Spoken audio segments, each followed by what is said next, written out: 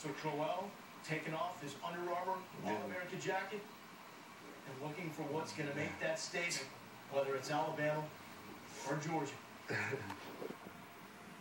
You're doing well with the suspense. I'm Gonna get out.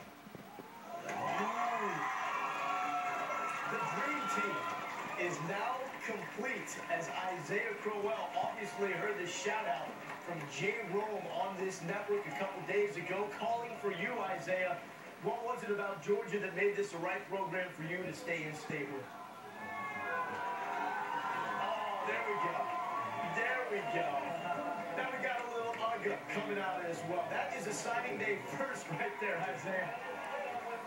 Yeah, I'm not sure Gabe exactly likes the dog out there on set.